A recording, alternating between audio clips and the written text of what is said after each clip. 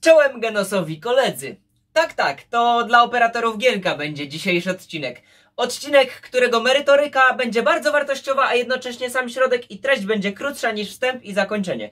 No właśnie, o czym to Jerzy mógł nagrać? Przecież obiecałem, że idę do pracy od poniedziałku, dzisiaj jest poniedziałek, wróciłem do pracy, a już nagrywam dla was odcinek, a mówiłem, że przecież odcinków będzie mniej. No tak się zdaje, że żyć bez was nie mogę, a chcę się podzielić specjalnym rozwiązaniem problemu, który opisywałem w odcinku numer 20 o Live Control i chyba w odcinku o największych wadach Genosa. Pamiętacie, w związku z pewną aktualizacją systemu, już nie pamiętam dokładnie którą, pojawił się slider Keyboard Volume. To ten wspaniały slider miał nam umożliwić i zastąpić funkcję, którą znamy z poprzednich modelów, czy też modeli instrumentów Yamaha, dokładnie Styrosów. Tam był taki suwaczek, e, taki fader, który dzielił nam, a raczej mogliśmy mieć... E, Mogliśmy po prostu ściszyć prawą rękę względem e, stylu, no po prostu względem reszty instrumentu. Jednym pięknym, krótkim posunięciem. No i co się okazuje?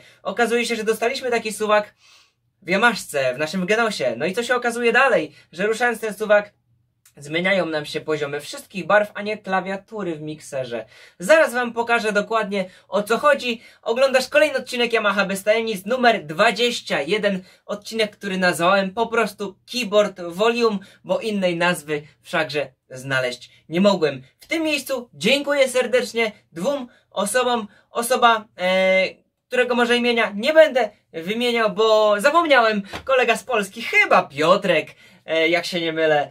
Piotrze, dziękuję Ci za to, miałem nie wymieniać, ale myślę, że to był Piotr. E, dziękuję Ci za to, Ty napisałeś komentarz, że zresetowałeś ustawienie Genosa fabryczne i nagle Ci się suwak naprawił. A to ciekawe, zaciekawiło mnie to i zmusiło do dalszych poszukiwań.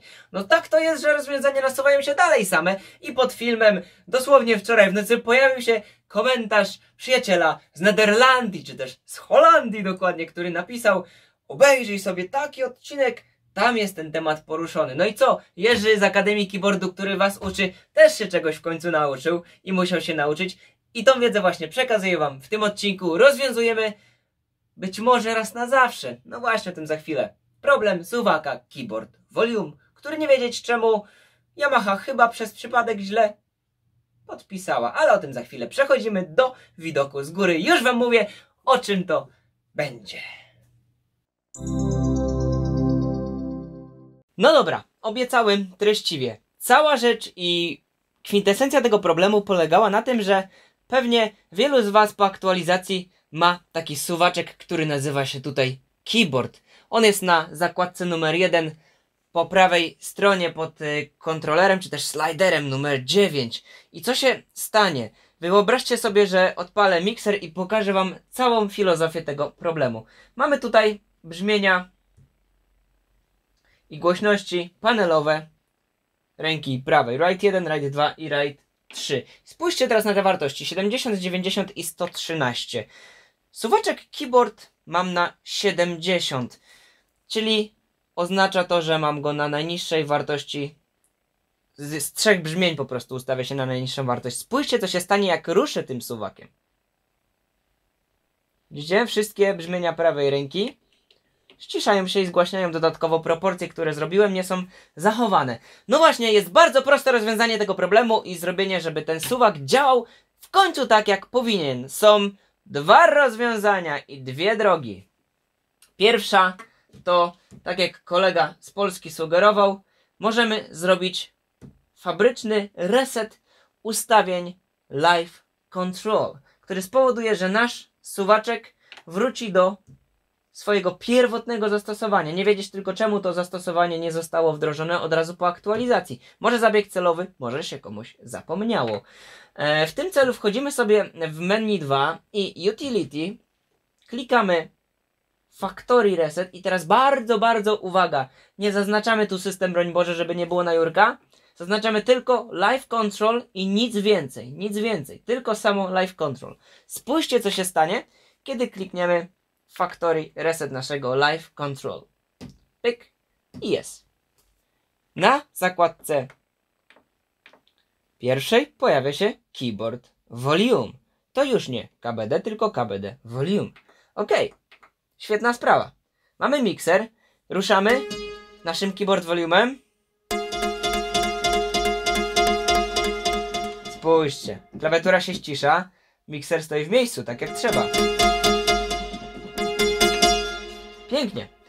To jest pierwsza ścieżka.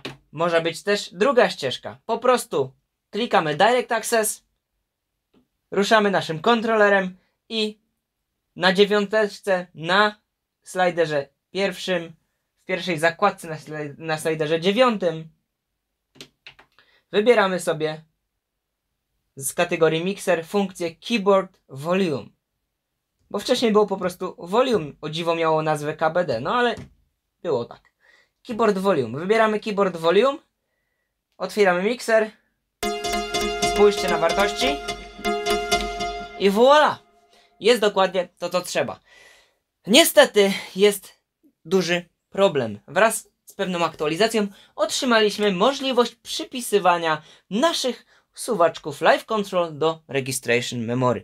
I jeżeli byłeś w grupie, która wszystkie swoje rejestracje dotychczas zapisywała pozycję Live Control, czyli w rejestracjach zapisywałeś ustawienia Live Control, to po wczytaniu swojej rejestracji masz masz z powrotem niestety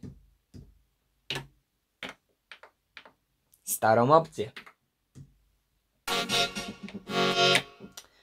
Co teraz należy zrobić? Ano, Jerzy dał wam pracę, trzeba przerobić ileś set rejestracji, ile macie, jeśli macie chęć, czyli wybieracie sobie reset value, albo jeśli macie już swój cały zestaw tutaj zrobiony, to wybieracie tylko jeden kontroler na keyboard volume, następnie zapisujecie rejestrację i tak razy 250 w moim przypadku, więc ja chyba pozostanę przy starym układzie, ale przy okazji, kiedy będę znowu przerabiał repertuar, to dodam sobie live controller nowy. No niestety nie ma opcji, żeby zrobić to inaczej, jeśli mieliście do tej pory zrobione rejestracje, które zapamiętywały live controla, no to trzeba je przerobić od nowa.